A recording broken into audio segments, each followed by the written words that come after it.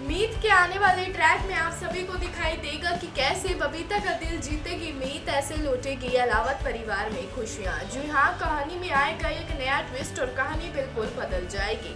आपको बता दें अपकमिंग ट्रैक के बारे में, जहाँ मीत अलावत अब करने वाला है पूरे परिवार के सामने मीत हुड्डा की तारीफ़ तो वहीं अब बबीता भी इम्प्रेस हो जाएगी। मीत से और कहेगी, अब ये मेरे घर की बहू कहलाती है और ये सब सुनकर मीत हुड्डा भी हो जाएगी खुश। अब देखना दिलचस्प होगा कि कहानी आगे क्या मोड़ लेती है।